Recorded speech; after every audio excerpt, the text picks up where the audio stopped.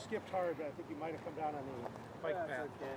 I don't see it on the bike path, but okay. Right by the tree. It might have hung up on the tree. It was right through there though.